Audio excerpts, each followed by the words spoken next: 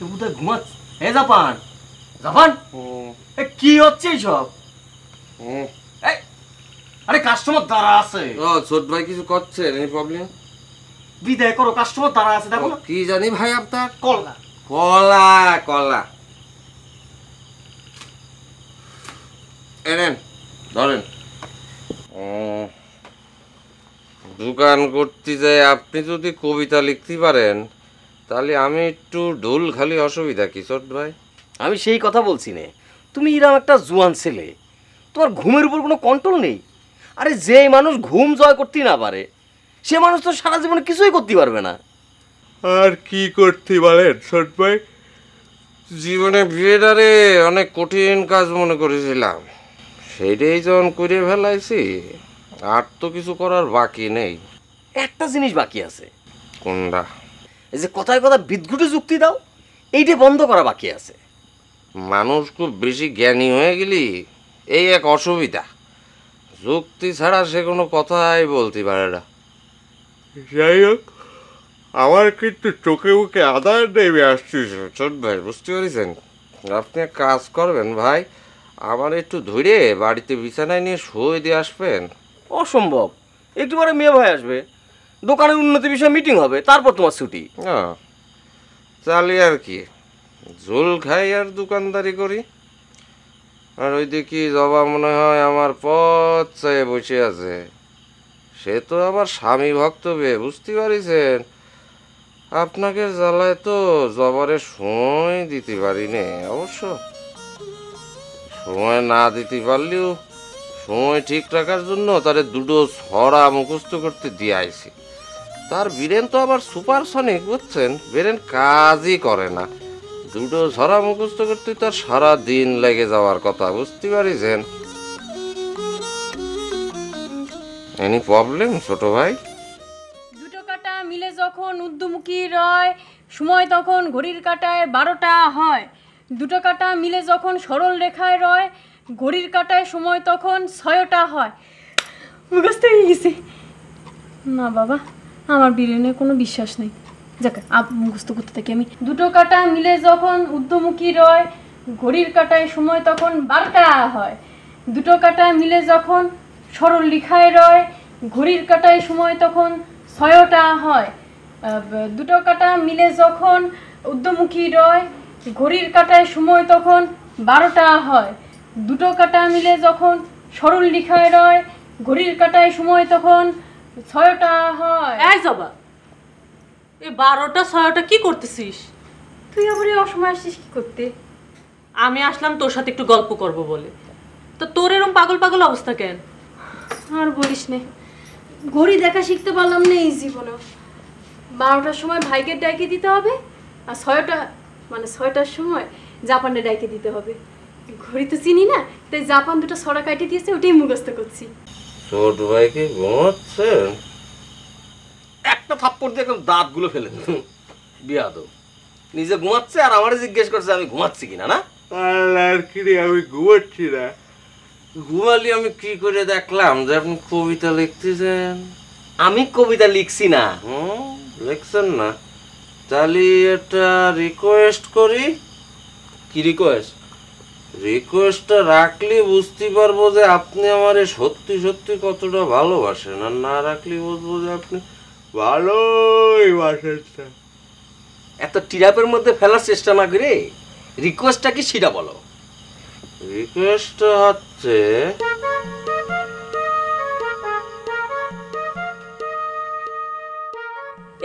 কত মুখস্থ করবি, শুনতে শুনতে তো আমারই মুখস্থ হয়ে গেছে।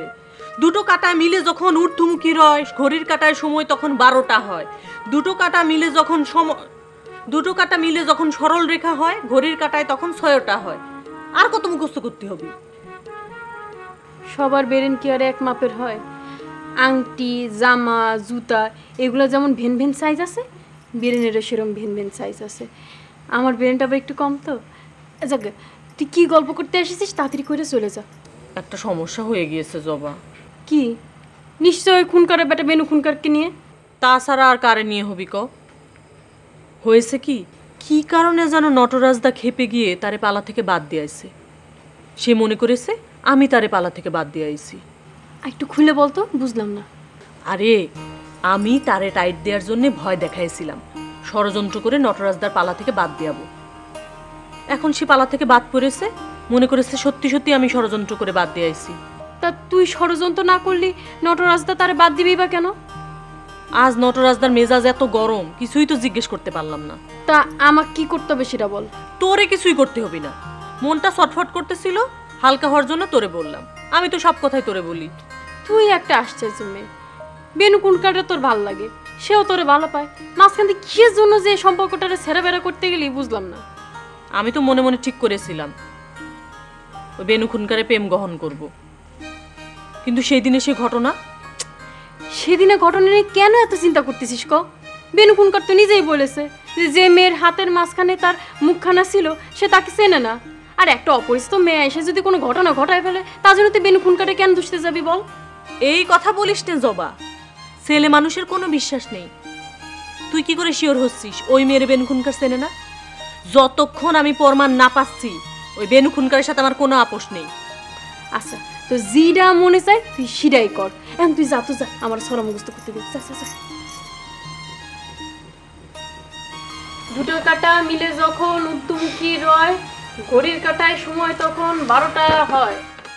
তুমি যে এক পরনারী ভুলতি যেতাই চাই আপন করে পাবো কিনা কোনো আশা নাই। আশা যদি না থাকে রে ভাই তাহলে আর কবিতা লিখে লাভ কি? জাপান তোমার জাপান? সোনা বাবু সোনা বাবু ওঠো সোনা বাবু। কিটা? বাবা? বাবা আসলো কোয়ান্তে জবা এসে ঘুম থেকে দাঁড়িয়ে চলে গিয়েছে। দাও দাও দাও, মুখে পানি ছিল দিয়ে আসো মিটিং শুরু করব দাও। এই রাত দুপুরে মিটিং কি সব নাই টাউলের পাল্লায় পড়লাম রে বাবা?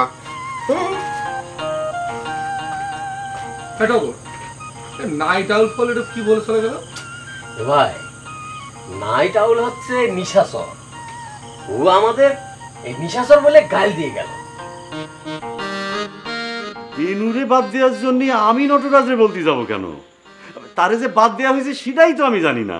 না বাজান হয়েছে কি? আমি ভাবলাম ওই আপনি হয়তো তারে বলে মানে হঠাৎ করে নটরাজদা তারে বাদ দিয়েছে তো। আবার সেই একই কথা। তাই নটরাজের কাছে শুনলি না কেন? নটরাজদার মেজাজ তো আজকে টং হয়েছিল। ইয়ে ওই তুই নিজে আবার কোনো ষড়যন্ত্র করিসনি তো মা? সি সি সি বাজান এসব আপনি কি বলতেছেন? আমি কেন ষড়যন্ত্র করতে যাব? না ওই বেনু যাতে আমার কাছে তালিম নিতে না পারে সেই জন্য তুই ওই যে সামান্য একটু ষড়যন্ত্র করেছিস সেটা আমি বুঝতে পারিছি। বাজান আপনি ওই বেন খুনকারের মতো। আপনিও মানে ষড়যন্ত্রকারী বলেছেন। দেখো মিটিং শুরু করছি। মিটিং বেশি লম্বা হবে না দুই তিন মিনিটের মধ্যে সিদ্ধান্ত। আব্বা স্বপ্নে বলেছেন যে তিনি এই দোকানটা দিয়েছিলেন আসলে জনগণের সেবার জন্য। তা আমি সিদ্ধান্ত নিয়েছি আমাদের এই এলাকার কাস্টমারদের কষ্ট করে আমাদের দোকানে আসতে হবে না। আমরাই তাদেরকে তাদের বাড়িতে বাড়িতে মালামাল পৌঁছে দিয়ে আসব। বুঝতে পেরেছিস? মে ভাই আমরাই বাড়ি বাড়ি গিয়ে মাল সাপ্লাই করে আসব। বিষয়টা একটু খুলে বলেন। এই এই যে তিসখালির এই তিসখালির বেশিরভাগ মানুষ কাজের জন্য বাইরে চলে যায়। ফিরতে ফিরতে তাদের অনেক রাত হয়ে যায়। রাতের বেলা তারা যখন ফিরে ফিরে এসে আমাদের দোকান থেকে মাল কিনে নিয়ে বাড়িতে যায় বাড়িতে গিয়ে হাড়িতে রান্না চড়ায়। হ্যাঁ? এই জন্য আমি ঠিক করেছি এখন থেকে তারা সকালবেলা আমাদের দোকানে তাদের প্রয়োজনীয় মালামালের ফর্দ দিয়ে চলে যাবে। আমরা সেই ফর্দ অনুযায়ী কাস্টমারদের মালামাল তাদের বাড়িতে পৌঁছাই দিয়ে আসব। তুমি ভাই মালামালের দাম কীভাবে পাওয়া যাবে? এই রাতের বেলা যে যার মতো করে কাজ শেষ করে বাড়ি ফেরার পথে মূল্য পরিশোধ করে চলে যাবে। পরিষ্কার?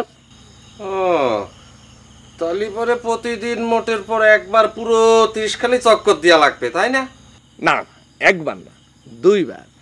প্রতিদিন বৈকালবেলা রেডিমেড চা ফ্লাক্সের মধ্যে নিয়ে বাড়ি বাড়ি যেতে হবে। চা নিয়ে আবার বাড়ি বাড়ি যেতে হবে কেন? সবাই তো দোকানের পর এসেই চা খায়। হ্যাঁ সবাই দোকানে এসে চা খায় না।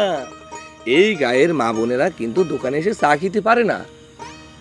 সবার কিন্তু সেই ব্যবস্থাও নেই তাকের ব্যবস্থার জন্য আমরা এই সেবা দেব ঠিক আছে? আচ্ছা এই গ্রামের মানুষের বাড়ি বাড়ি দিয়ে সুবিধা দিয়ে এই দোকানের উন্নতি কি হবে সেটা তো বুঝতে পারতেছি না। এই, ইডা করলে দোকানের সুনাম বাড়বে। সুনাম বাড়লে বিক্রি ফের ফের করে বেড়ে যাবে। ঠিক আছে? আমাদের সাথে কম্পিটিশন দিয়ে কেউ আর অন্য দোকান করতে পারবে না বোঝা গেছে? মালামাল বাড়ি বাড়ি পৌঁছে দেওয়ার জন্য কি নতুন কর্মচারী নিয়োগ দেবেন রে ভাই? নতুন কর্মচারী লাগবে কেন? জাপান আছে না? জাপানের একটা ভ্যান কিনে দেবো। ভ্যানে করে সে সকালবেলা মালামাল সাপ্লাই দিয়ে আসবে। বিকেলবেলা রেডিমেড চার ফ্লাক্স নিয়ে আবার বেরিয়ে যাবে ভ্যান নিয়ে। আর কত নিচি নামবে জাপান নি ভাই? অতি চাইলাম সুলজার বানাই দিলেন দোকানদার। এখন আবার কচ্ছে নতি হবে ভ্যান ড্রাইভার আর হকার। এনি প্রবলেম না। প্রবলেম আর কি? ঘর জামাই থাকতে হলে তো একটু কষ্ট করা লাগবেই তাই না? হ্যাঁ তাই। যাও যাও। বাড়িতে গিয়ে প্লেট ভরে ঘুমাবে যাও। আর হাই চলতেছে যাও!